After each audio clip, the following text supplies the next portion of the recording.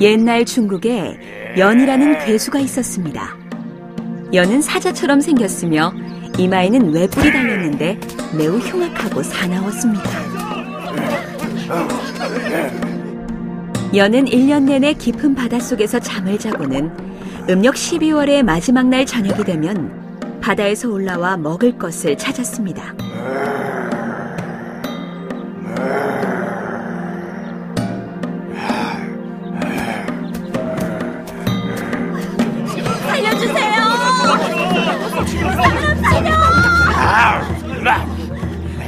연은 마을의 가축들과 사람까지 먹어치우고 다시 돌아가 다음해 12월까지 잠을 잤습니다. 사람들은 섣달 그문만 되면 깊은 산으로 달아나 연을 피하였습니다. 어서 떠납시다. 시간이 별로 없어.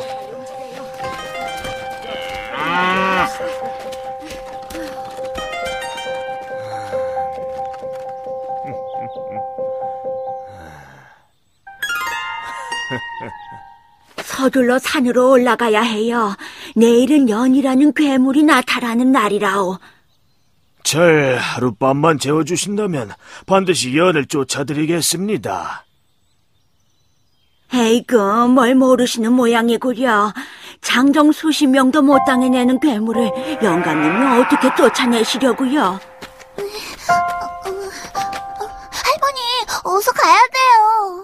이 집에서 하루 머물러도 괜찮을까요? 괜찮긴 하지만 아, 연이 오면 위험할 텐데. 부디 몸 조심하시구려 나그네 양반. 아유, 자, 우린 가자.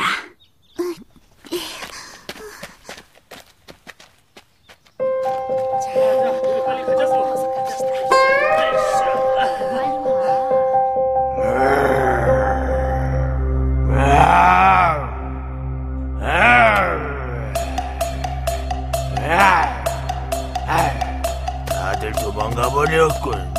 아, 먹을 게 없잖아. 아, 에? 저게 뭐지? 어? 아, 아이, 아니, 저걸. 어?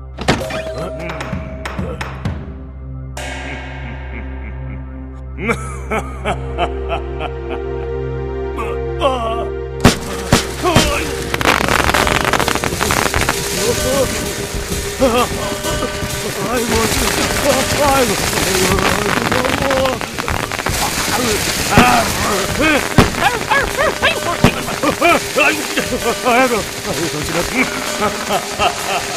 어?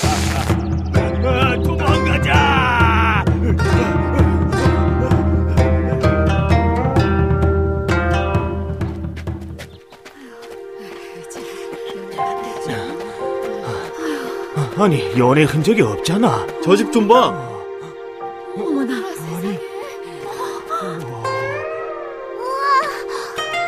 아이쿠, 그 노인이 정말 연을 쫓아냈구나.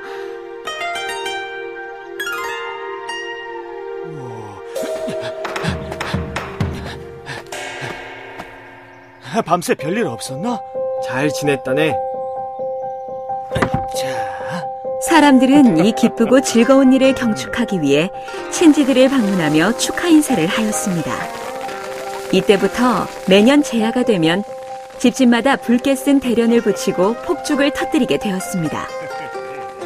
이 풍속은 널리 퍼져 이후 중국에서 가장 성대한 명절인 춘절이 되었습니다.